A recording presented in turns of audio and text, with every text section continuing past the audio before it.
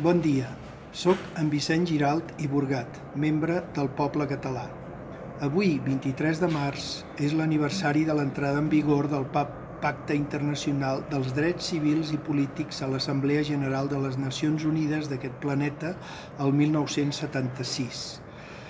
En aquest pacte, a l'article 1 es reconeix que tots els pobles tenen dret de lliure autodeterminació, en virtut d'aquest dret, determinen lliurement el seu estatus polític i persegueixen lliurement el seu desenvolupament econòmic, social i cultural.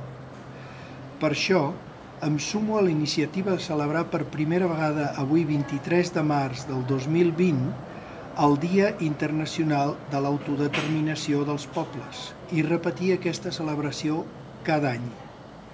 Volem visibilitzar a nivell planetari aquest dret dels pobles i fer que cada poble del món i cada persona conegui, celebri i beneficiï d'aquest dret que ens ajudarà a conviure en un món en pau, on cada poble decideixi el seu propi destí, respectant i cooperant amb tots els demés pobles.